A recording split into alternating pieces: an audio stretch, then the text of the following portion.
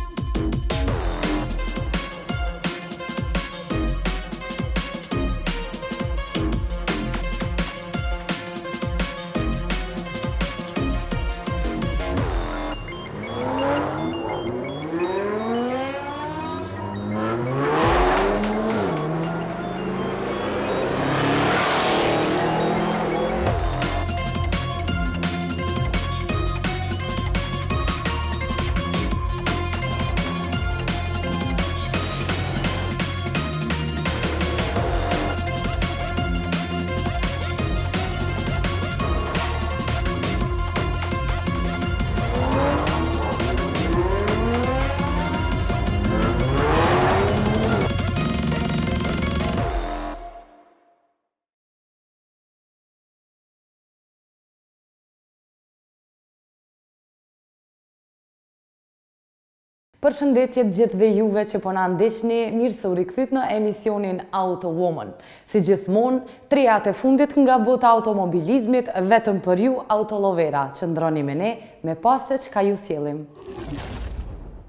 Sa herë që dojmë me ble një veturë të re, sigurisht që duhet me këqyrë edhe review, se çka janë performancat e asaj veture, kësaj radhe ju sjellim veturën Mazda tre në rubrikën Auto Show.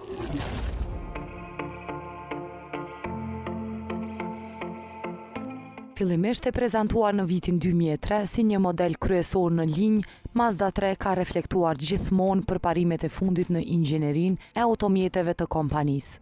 Që nga prezantimi i saj, më shumë se gjashtë milion njësi të Mazda tre janë shitur në mbarë botën, ku mbi një milion vetura pritet që të hyjnë në tregun europian.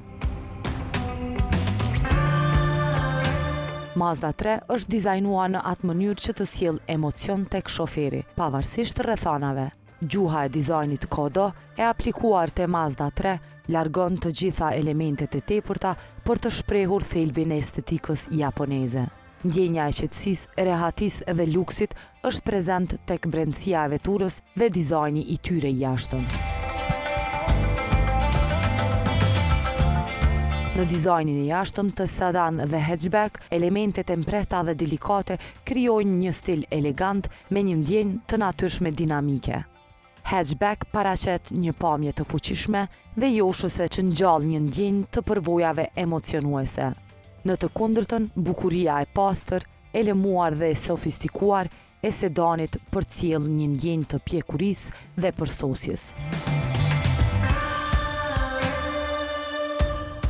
Si rezultat, të dy llojet e trupit shfaqin personalitete aq të dallueshme Sa pothuajse duket se janë dy modele të ndryshme. Linjat e pastra dhe përmasat unike të hatchback sportiv përcjellin një ndjenjë të parashikimit dhe energjisë që krijon një tërheqje të fortë emocionale.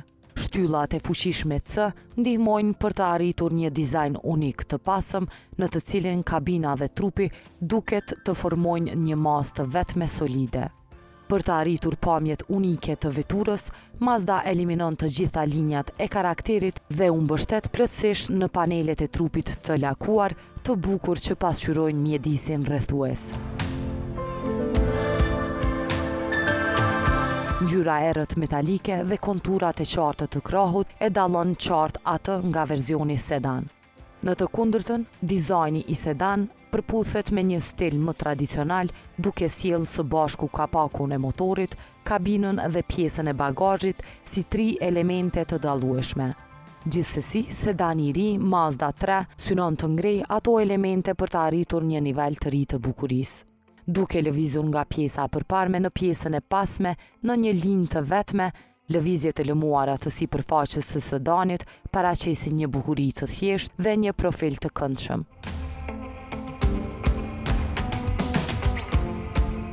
Të gjithë elementet në pjesën e përparme dhe të pasme japin një paraqitje horizontale që thekson pamjen e një qëndrimi të gjërë dhe qendër të ultë graviteti. Rezultati i kombinuar është një shprehje rafinuar e pjekur e elegancës. Të dy variantet, sedan dhe hatchback, janë në dispozicion me disqe alumini me madhësi 16 inç. Për sedan, disqet 18 inç vijnë me ngjyrë argjend metalike ose të ndritshme. Për hatchback, disqet 18 inç vijnë me një ngjyrë metalike hiri apo të zezë. Interieri i të gjitha varianteve të modelit të ri Mazda 3 gjithashtu përfshin dizajnin e evoluar Kodo më pak është më shumë. Të gjithë elementet përveç kabinës mbahen sa më të thjeshta të jetë e mundur për të nxjerrë në pah zonën e shoferit. Për të përforcuar lidhjen ndërmjet makinës dhe shoferit, çdo aspekt i kabinës është hedhur në një simetri të përsosur horizontale të përqendruar tek shoferi. Filozofia e njeriut në qendër të çdo dizajni të Mazda siguron që çdo element i një makine Mazda është i favorshëm dhe në shërbim në lehtësi të ngasjes.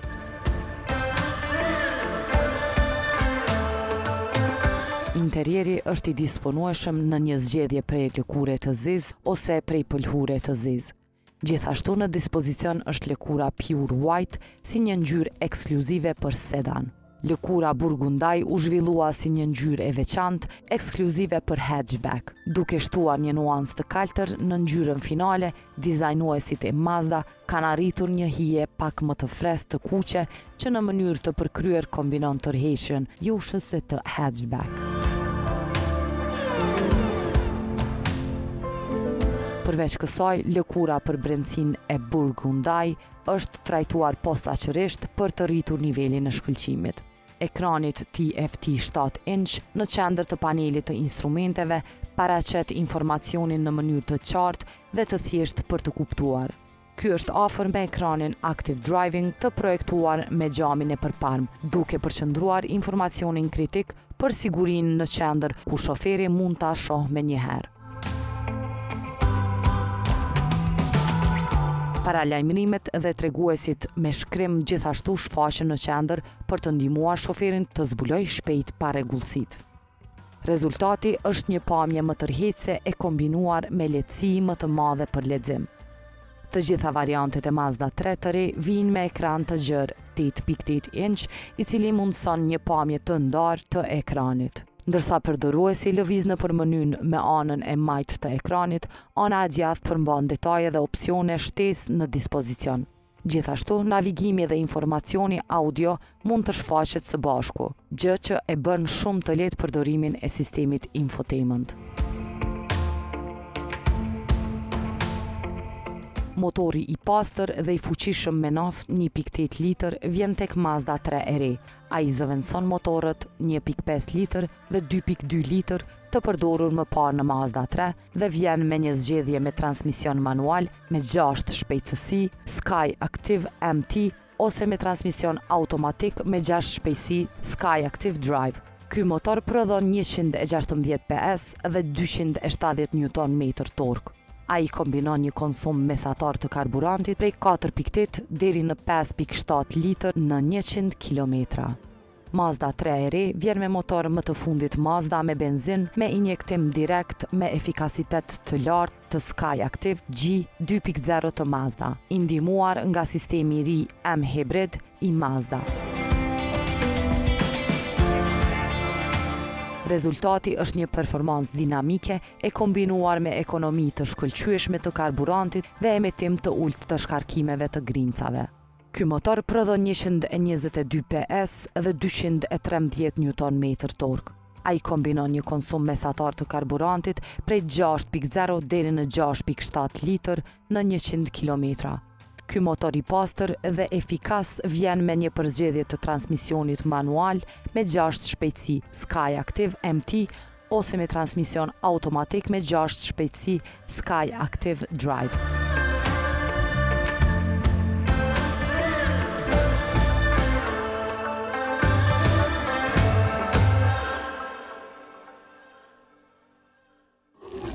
Në rubrikën Autoprofil kësaj radhe ju sjellim një veturë mjaft unike Special Edition. Ajo është një old timer Bentley.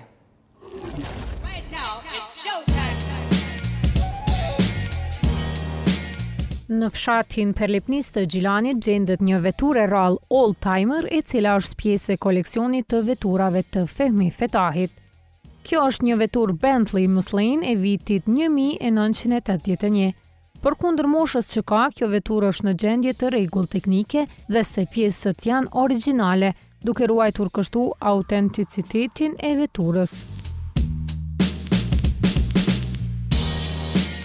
Bentley Mulsanne është një makinë luksoze e performancës së lartë e cila u prodhua nga Bentley Motors Limited nga viti 1980 deri në vitin 1992.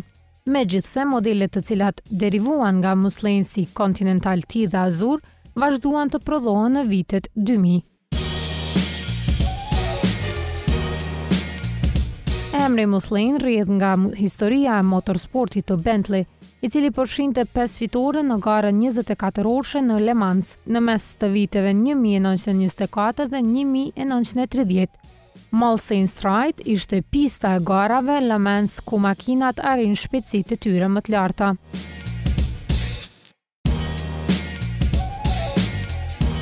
Mulsanne tradicionalisht vinte me motorin 6.75 litër V8 nga Rolls-Royce, me cilindra alumini i cili prodhonte dyqind e pesëdhjetë e gjashtë kuaj fuqi dhe pesëqind e pesëdhjetë njuton metër tork.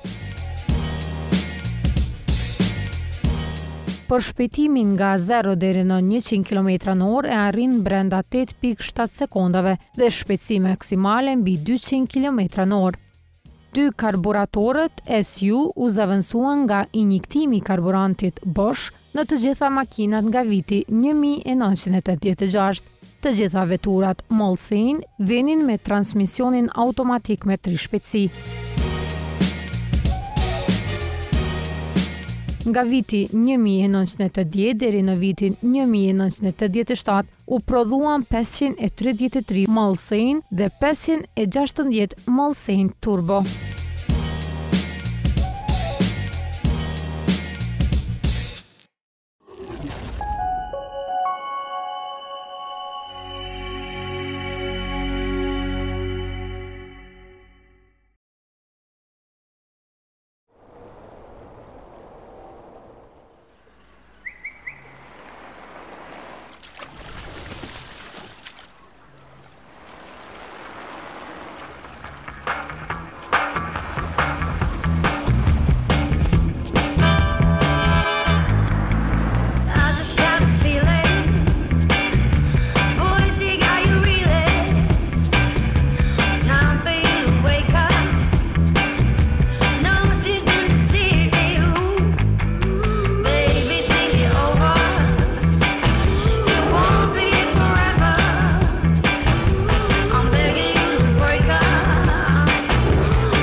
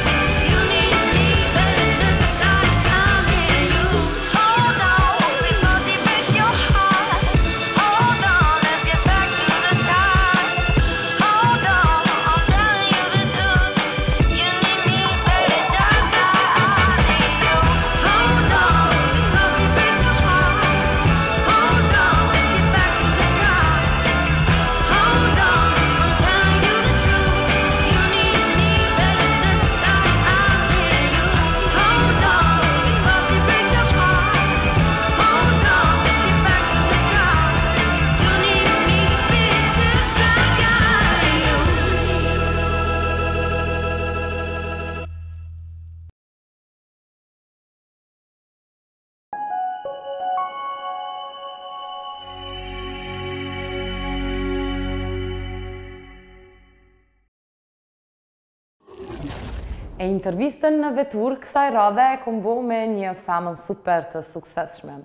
Është Enkelejda, e cila na tregon për eksperiencën e vozitjes së saj në komunikacion, gjithashtu ajo edhe pse vin nga Shqipëria, na tregon se ku e ka marrë lejen e vozitjes.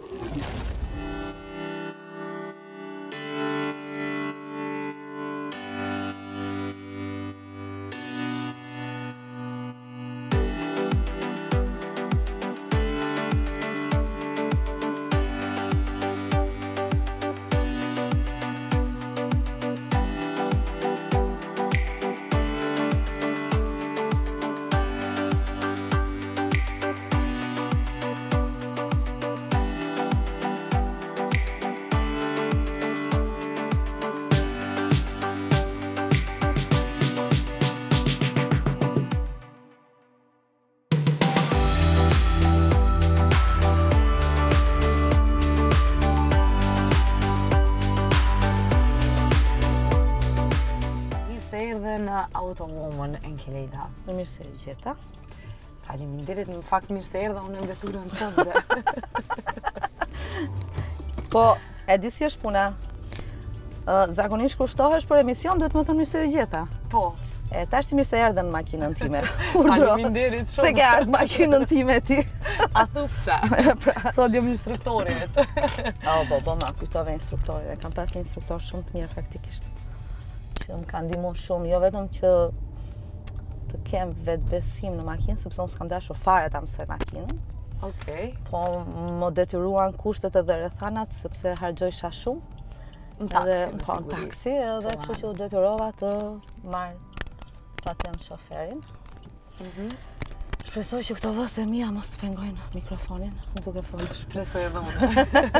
Kështu që kime pa vishë drejtë. Nga kemi... Kime vojnë me këti.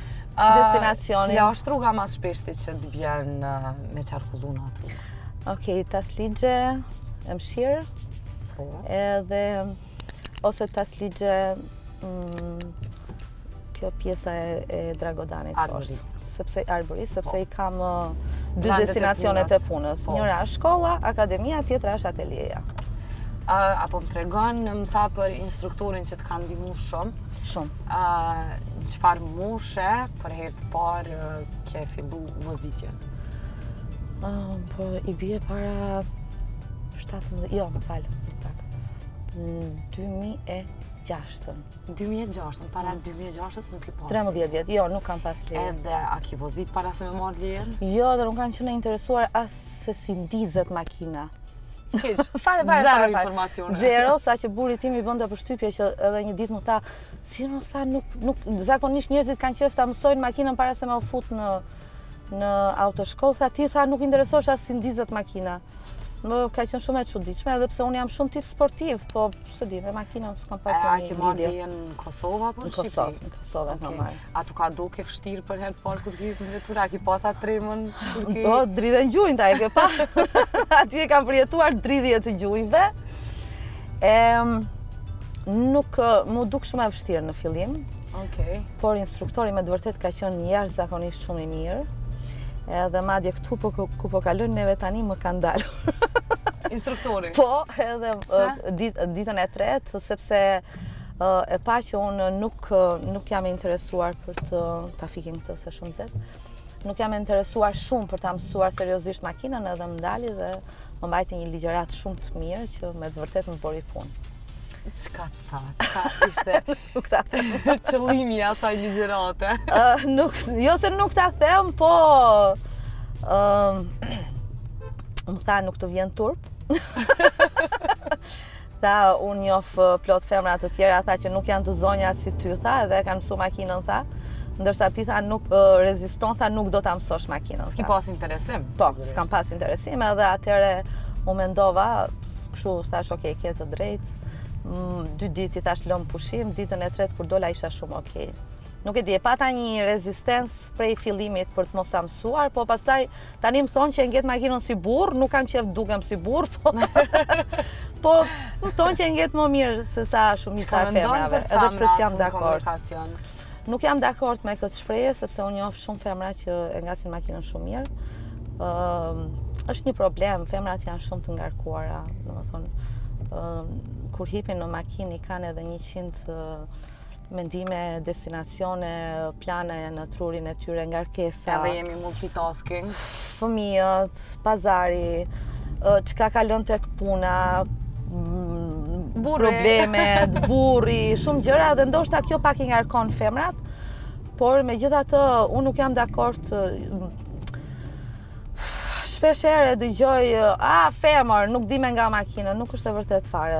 Por meshkujt, meshkujt janë pak po. më më shumë paragjykues ndaj femrave, po unë kam pa edhe meshkuj që bëjnë gabime shumë të mëdha në makinë. Për vese shpejtësi shumë të madhe, po e po. ngas makinën se në, si një femër. Po, jo nuk thonë vazhdoj se nuk e pranojnë. Një shqiptar, nëse do në shqiptar. Mm. një mashkull në qoftë se don me ofendu veç thuj nuk po din me ngas makinën. Megjithatë... Mënyra e ofendimit megjithatë, në mënyrë të butë. Unë i kam parë që edhe në disa vende të botës ka parkingje të destinuara për femrat që janë shumë të gjëra dhe po mua nuk më ka ardhë mirë dhe ajo, po kjo tregon që kjo është dukuri në gjithë botën të destinuara për femrat që nuk dinë të parkojnë. Nuk dinë të hyjnë edhe të dalin. Po dhe se ka në fillim krejt e kena problem parkingun paralel. Po në Shqipëri e kanë një gjë të mirë për shembull që e vendosin një letër shofer po, shofere e re ose shofer i ri. Po e kam pa. E kjo është shumë shumë kujdes, mos më afru po, shumë. Po, është shumë gjë e mirë, pse jo? Fillimet janë të vështira, të flasim realitetin, sidomos në përvoja. Në komunikacionin e Prishtinës edhe Tiranës janë Smersisht. A vren dallime në komunikacion në oh, Tiranë dhe në Prishtinë? Oh, shumë. Ku duket më vështirë me vozit? Në Shqipëri, në Tiranë. Sidomos në Tiranë. Është më i egër komunikacioni atje. Rregullat. Nuk ka pardon. Rregullat ende nuk kanë filluar që t'i t'i t'i vlerësojnë edhe t'i t'ju nënshtrohen atyre, domethënë ti rreshtohet në krahun e djathtë Edhe duhet të kaloj dy korsi për të kalun të majtën, gjë që s'është normal. Po këtë nuk është se e kam vënë vetëm unë, edhe pse po. shumë mikeshat e mia që janë të Shqipërisë, jetojnë këtu, kur e marrin vesh që unë shkoj, kur e kanë marrë vesh që unë shkoj në Shqipëri me makinë, më kanë thënë, o Zot, si mundesh ti, sepse ne nuk mundemi dot. Mirëpo,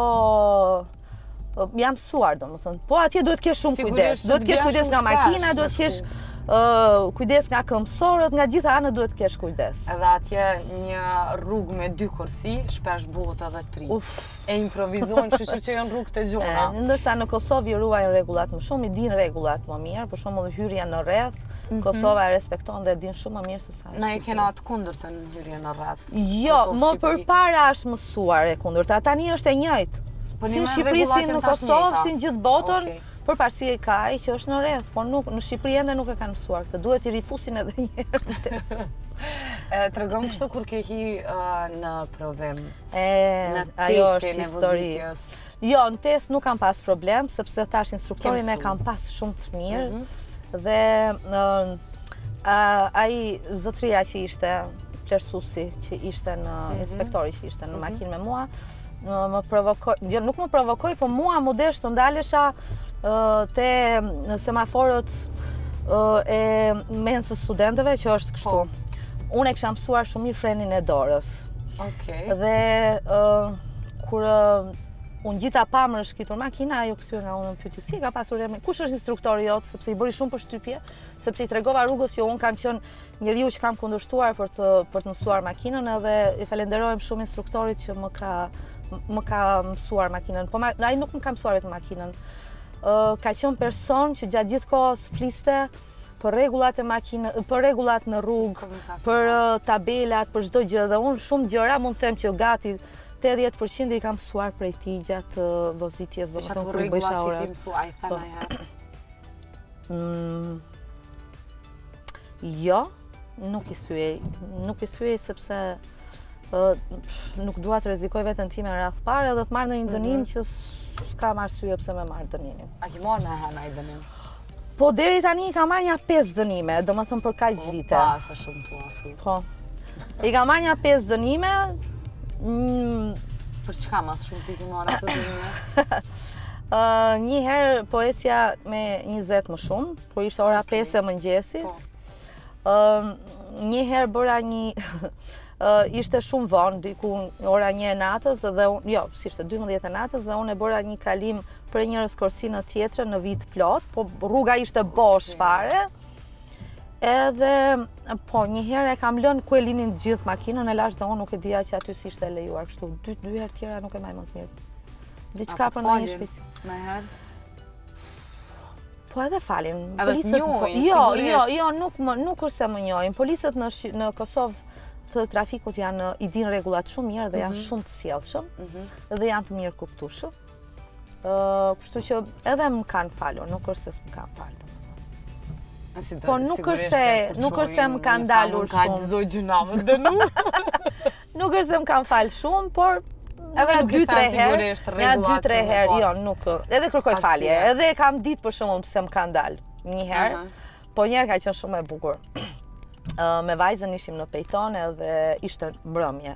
Dhe atje kishte shumë drita dhe unë makinën e parë fare që e kam pasur, Ka qenë një Ford Ka. Mhm. Dhe unë nisem, po, shumë i mhm. vogël, po, shumë i bukur ka qenë. Të them të drejtën, nuk e di, kam, domethënë, ajo makinë më ka lënë mbresa shumë të mira dhe e kam dashtë jashtëzakonisht shumë. Ndoshta pse ka qenë makina e parë. edhe unë nisem, dhe dy policë më dalin para dhe unë ndalem, thanë dritat i ke lëshu të gjatat.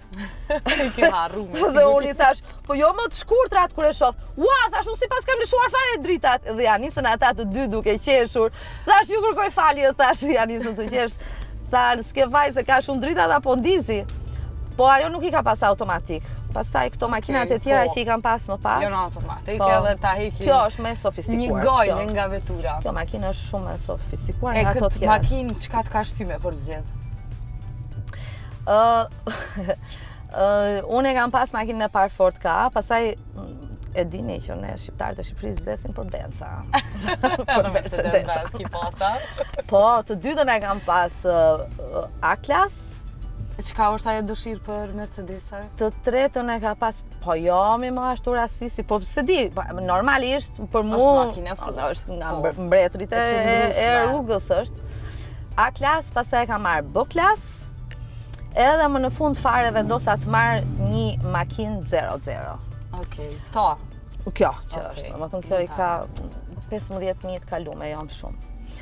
E kam marrë para disa muajve, por uh, kishte zgjedhje të ndryshme nga kjo që unë e kam marrë dhe unë e mora vendosa të marr një që ishte 1000 euro më e lirë mhm. dhe burri im që opsione, varet çfarë po, opsioni don me. Po, dhe burri im që thotë, thot, po thot për një mijë euro, thot, shtoja dhe një mijë, thot, po s'u bëj kaq kurnace, dhe merre këtë sepse ka opcionin më të mirë. E kështu që e mora këtë që kam tani. A i ki përzgjedh vetë automatik?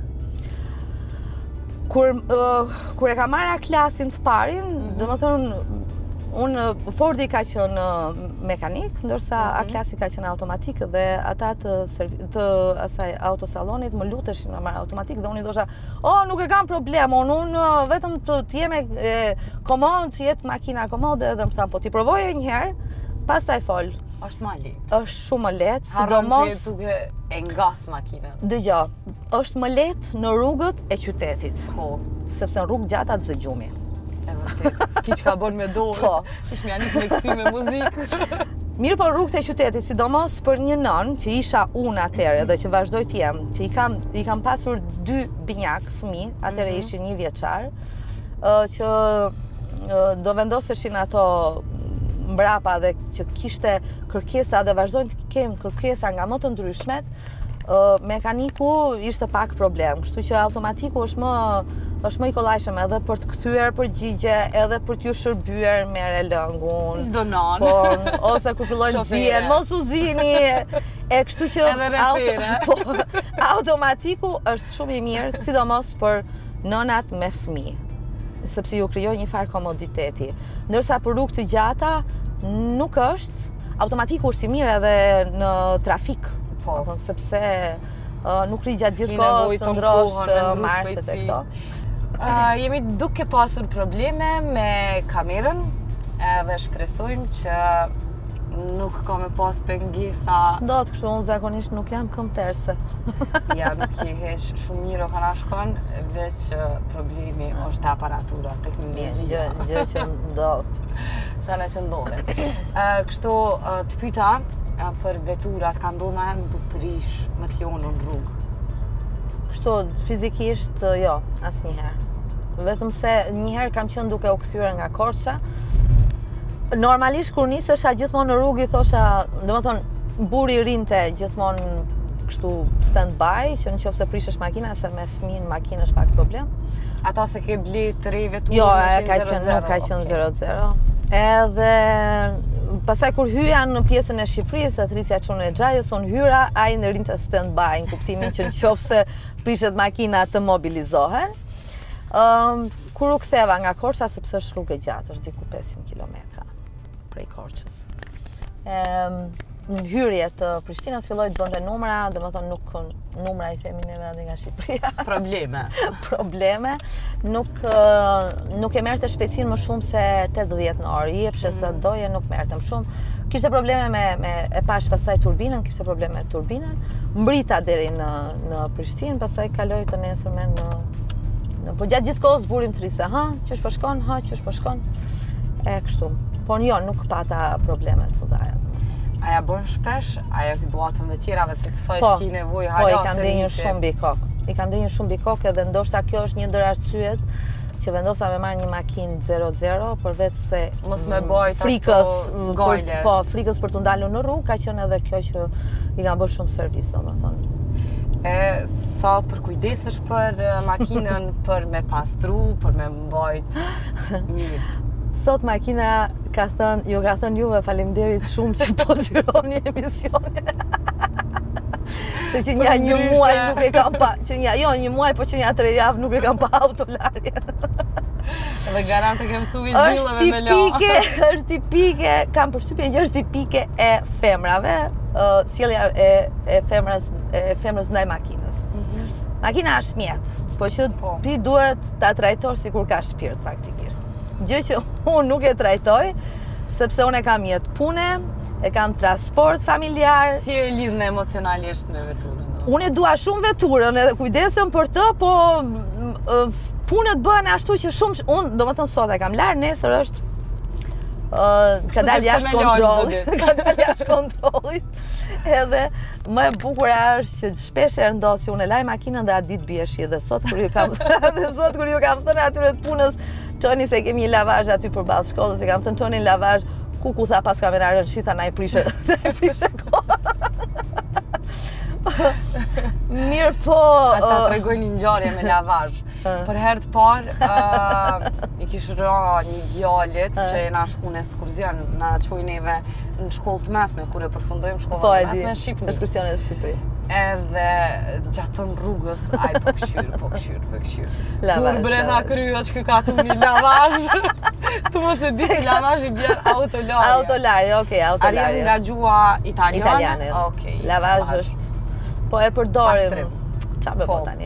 përdorim. E sa po i kupton kështu termet e zakonisht të po, veturave. Termet e veturave nuk i kuptoj fare.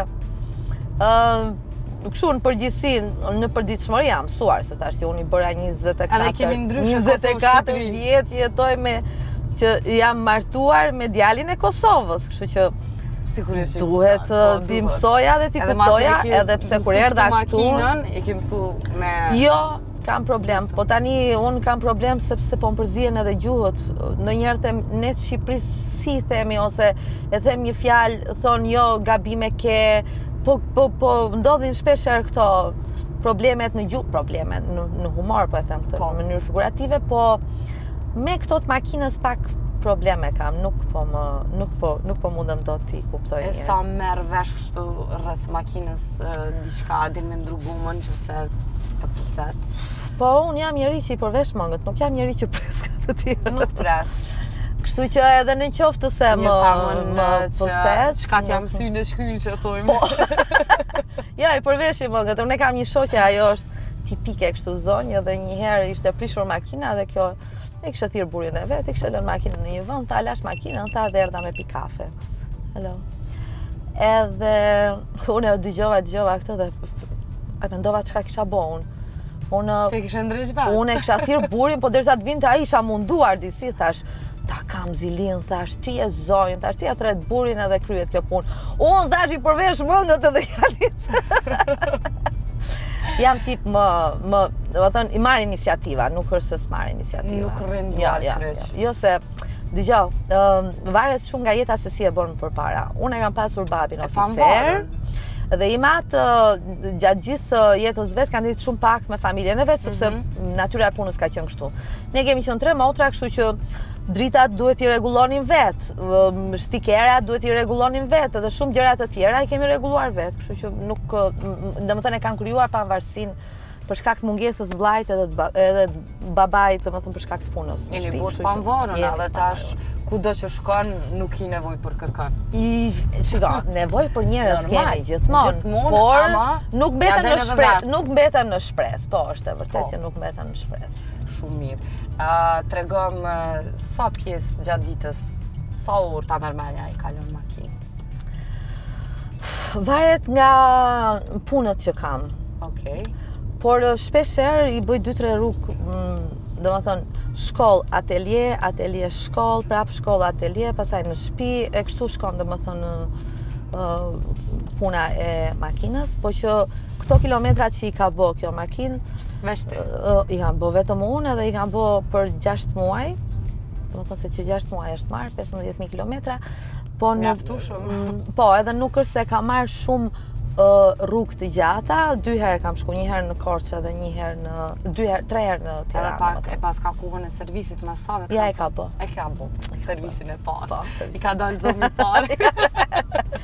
Pas 11.000 kilometrave ja kam bo servisin e parë. Do më thonë, pas ke vendus m'i mbajtë gati me njëherë me bo servisin. E tregom, a të ka ndodh nojherë me të metë makina pa derivate. Jo, jo një herë jam trembur, sepse thashë hajt se po e mbushim në Shqipëri duke u kthyer nga Tirana. dhe deri sa kam mbërritur, kam hyrë në Suharekë, që e mhm. kam mbushur, unë thashë po më lë tani e po më lë pastaj. dhe që atëherë kam vendosur ta mbush diku, të jem më e sigurt sepse jam trëmbur shumë. Po kështu nuk më ka lënë asnjëherë. Nuk, domethënë nuk e kam lënë. E llogaris, kur del llampa e di që diku te 40 km i bën, po se lë as 10 km se shkoj me njërën. Edhe është gjynah me dëmtu kerrin po, se po, me të po. fund ajo. Nuk. Derivoti nafta apo benzini që është pak ma i keq dhe e di që Shiko, ato e prish më Unë ndoshta e ka mundësit, po ti ke studenta plot që me 5 euro dhe ju po, ngelet dhe... makina atje dhe duhet me kuptu se janë Normal. të rinj, me dalë po, me pra. po jo, mua nuk më ka lënë. e, kështu gjatë ditës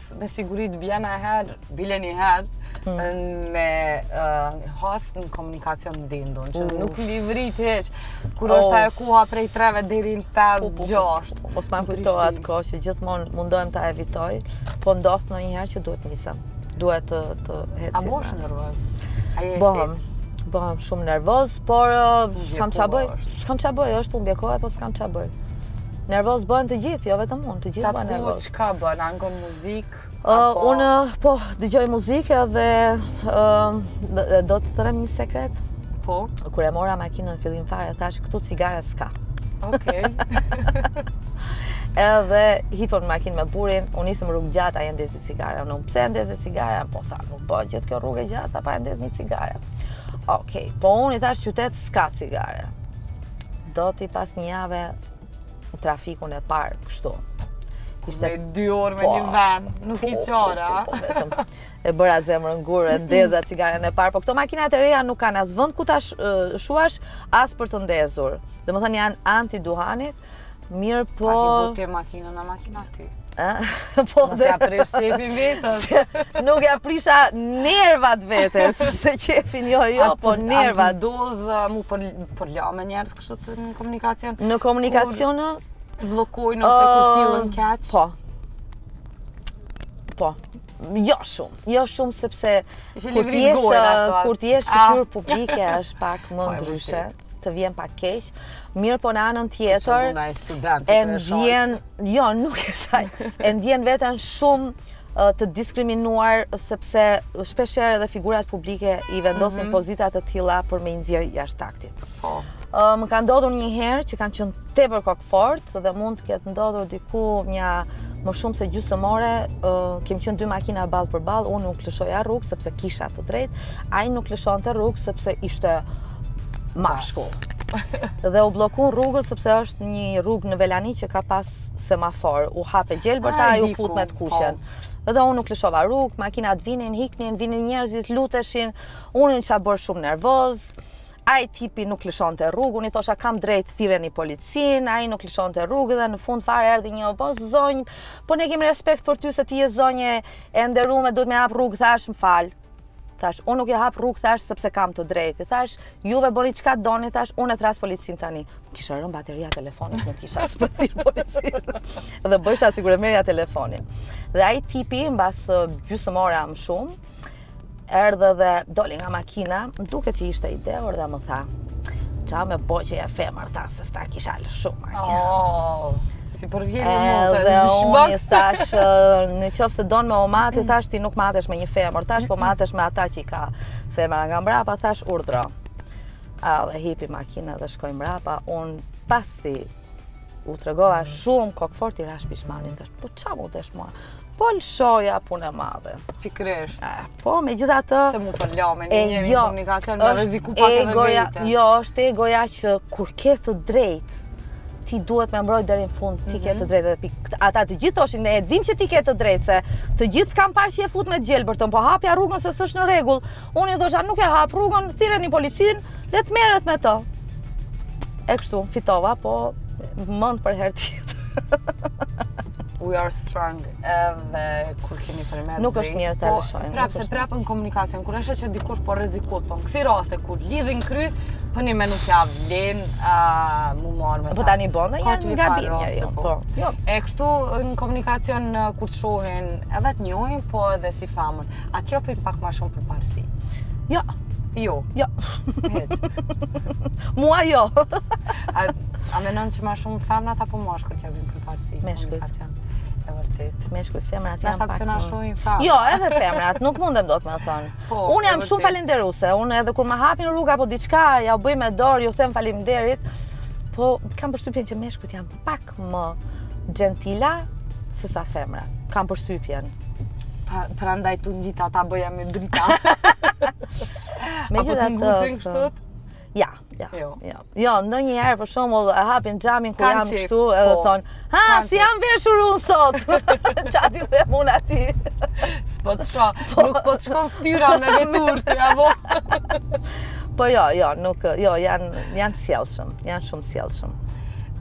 kjo ishte krejt për intervistën, edhe unë të falenderoj shumë për vozitjen. Ishte një vozitje profi. Ishte vozitje e mirë? Tepër. Pa, po, nuk të solla zorrët te goja? Jo, jo, me thënë të drejtën, nuk ankohen shumë se si vozis, domethënë, më thonë që vozis lehtë edhe mirë, kështu që...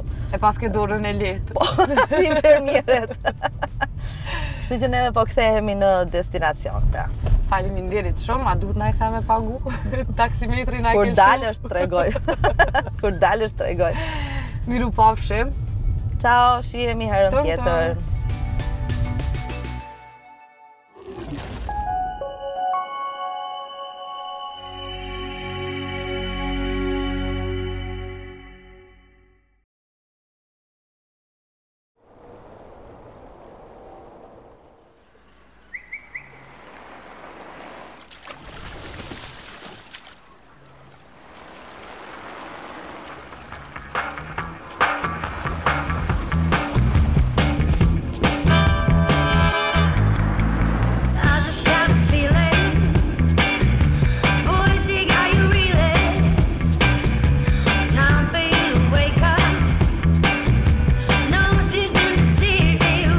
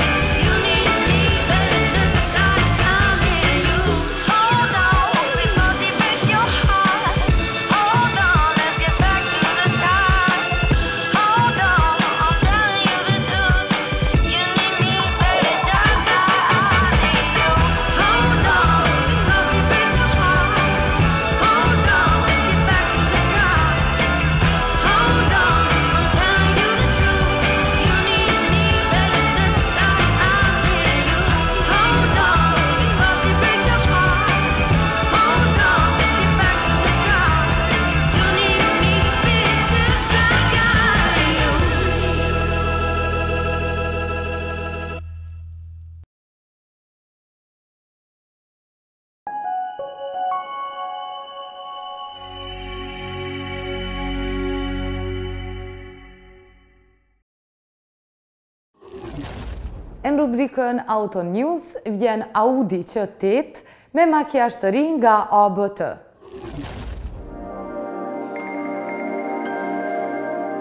Pas një përpjekje të parë në vitin e kaluar, ABT Sportsline po jep Audi Q8 një stil të duhur dhe përmirësim të performancës. Debutimi i këtij modeli në Gjenevë muajin e ardhshëm do të sjellë një pako aerodinamike dhe rritje të performancës që ka për qëllim të sjellë anën sportive të Q8. Kompania për modifikimin e veturave ka bërë ndryshime të rëndësishme brenda dhe jashtë që me siguri do të vërehen kësaj here. Në pjesën e jashtme, Q8 fiton një shtresë të përparme, shtesë dhe panelet e hyrjes së ajrit. Të gjitha janë të disponueshme në ngjyrë të zezë me shkëlqim dhe shkronjat ABT. ABT gjithashtu ka pajisur këtë SUV me rrota 22 inç ABT Sports GR. Disqet masive janë të disponueshme në ngjyrë të zezë mat ose në të zezë me shkëlqim. ABT gjithashtu do të zbulojë disqet e reja njëzet e tre inç për Q tetë. Brenda në kabinë mund të vërehen detaje si ndërruesi i shpejtësive me fibra karboni, start stop butoni metalik, si dhe shumë detaje tjera. Po ashtu, dritat projektojnë logon e kompanisë ABT në asfalt kur dera është e hapur. për të siguruar që Audi Q8 merr ngritje të denjë të performancës, motori V6 3.0 litër TDI mori njësinë e ABT Engine Control, që zhbllokon 325 kuaj fuqi dhe 650 Nm tork. Ky modifikim i shton katërdhjetë e tre kuaj fuqi dhe pesëdhjetë njuton metër tork motorit standard i cili prodhon dyqind e tetëdhjetë e dy kuaj fuqi dhe gjashtëqind njuton metër tork.